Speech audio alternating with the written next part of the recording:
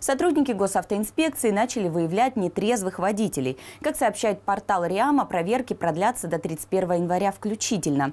Добавлю, с начала этого года на территории обслуживания Люберецкого отдела ГИБДД произошли три аварии по вине нетрезвых водителей. Сумма штрафа за управление автомобилем в нетрезвом состоянии – 30 тысяч рублей. Также водителю грозит лишение прав на срок от полутора до двух лет. Если автовладелец нарушает закон во второй раз, ему грозит более крупный штраф – от 200 до 300 тысяч рублей. Либо лишение свободы на срок до двух лет. Напомним, рейд «Нетрезвый водитель» сотрудники Люберецкого ГИБДД проводят на постоянной основе. В прошлом году госавтоинспекторам удалось выявить 8 нарушителей закона. Луиза Егязарян, телеканал ЛРТ. Всем привет! Я Наталья Григорьева. Вы смотрите ЛРТ. Подписывайтесь на наш канал на Ютубе, ставьте лайки и всегда будьте в курсе интересных событий.